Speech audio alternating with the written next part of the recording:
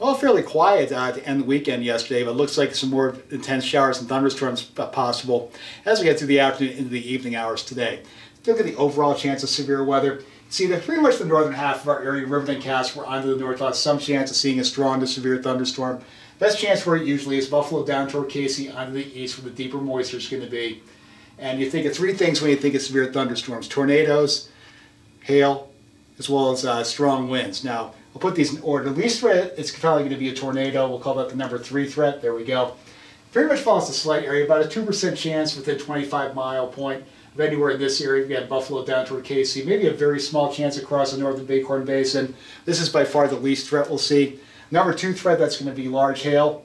Again, slight chance across here. Now the best threat of this will be further north you go. So places like Lovell, maybe north of Greybull, Cody onto the north, we'll see a better chance of that. The further south you go, there'll be some drier air in place down here across this area.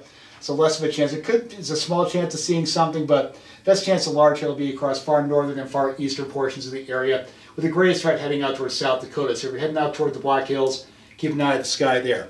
Now the main chance, I think, across most of the area is going to be strong wind gusts. This area traces it pretty well. Now, best chance of that, I think, will probably be across the southern portions of this area, Thermopolis down toward Riverton. Much uh, drier air in this area, dew points are a lot lower than they were during the last few thunderstorm events. So this could be a situation where you get a shower or thunderstorm. Might not be any rain falling out of it, but you could get a very strong wind gust out of nowhere as well. Those dry microbursts is what we call them. But anyone can get a strong wind gust, even though here across the moisture areas, could be a wet microburst up in this area. So as we sum things up, the big difference here, this is going to be a later show than a lot of the uh, events we've had lately.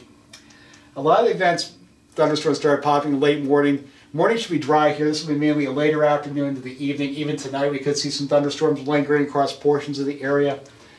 Also, best chance of seeing severe thunderstorms between about 3 and 10 o'clock. After Between that, could be thunderstorms after before that, but it looks like a lesser chance there. Johnson County had the best chance of seeing severe thunderstorms, followed by Bighorn County, maybe Northern Park County.